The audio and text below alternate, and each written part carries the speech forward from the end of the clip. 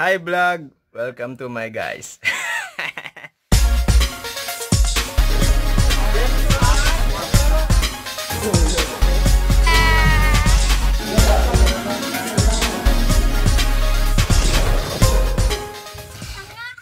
Kamusta kayo mga ka-ingron? So ngayon, ang gagawin namin ay mag-fishing kami kasama mga pinsan ko sa kanilang farm. Tapos, um, konti lang kasi yung aming fishing rod eh. So,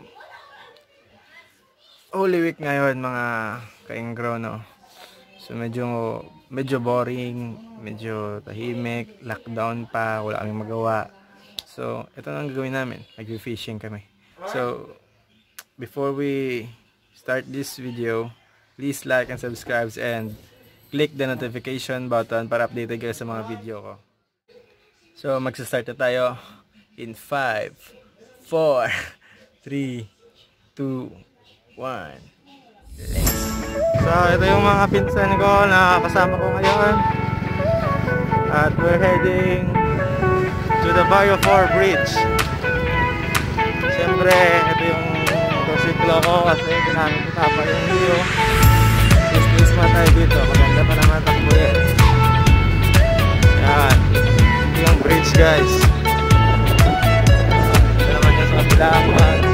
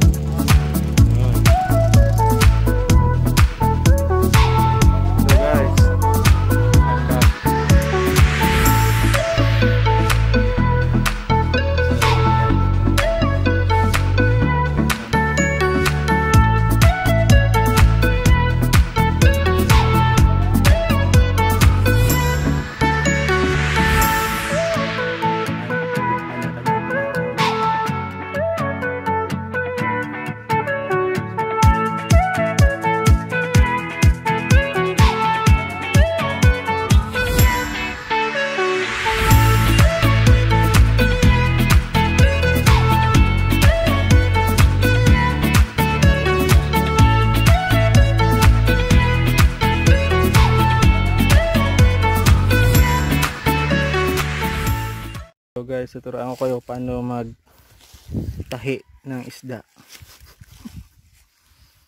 Ayun for the second time na uli naman ang kasama namin. Malaki ito. Yan.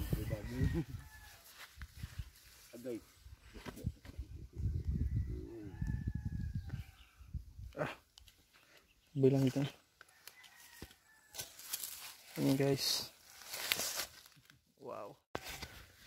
So ngayon nag-change area sila. Ayun, malaki. Pangapat na huli. Malaki ito. Ah. Okay guys, another tiger fish pa rin nang nahuli nila.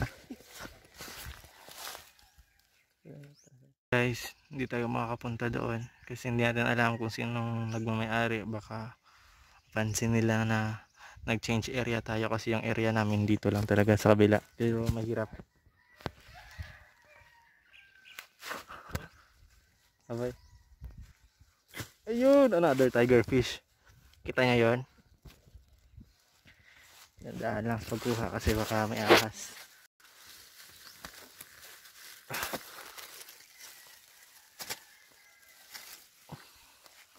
Yan. Yung isa pang limang pang anim na huli ito. Yan. Magkapareha yung mga sukat ng tatlo. Pero mas malaki itong isa. Maraming tiger fish na mga kabangbang.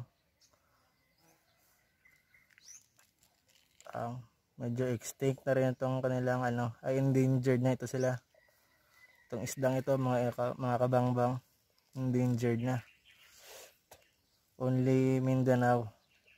Sa Mindanao ka lang makakita nito. Lockdown pa. Gabo na ba? Puta. Yan, mga kabangbang. Abo. Bang bang bang bang.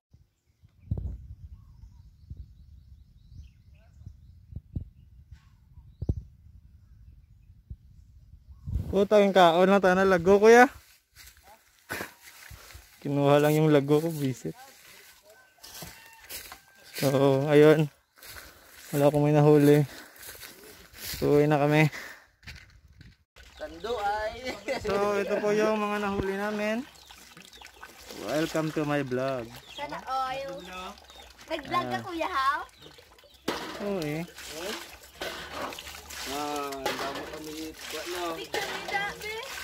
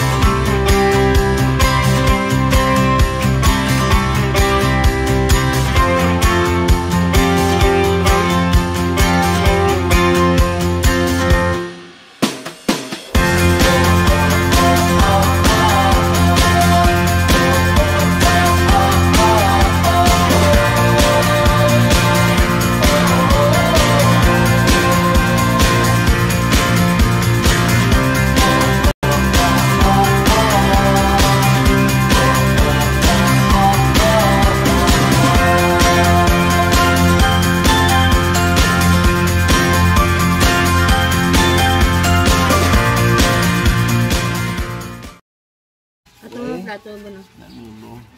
Tayo ko doy? Ano po yung nahuli namin, mga kabangbang. Ito bang bang dapo. Kapangpang. Kain na po kami.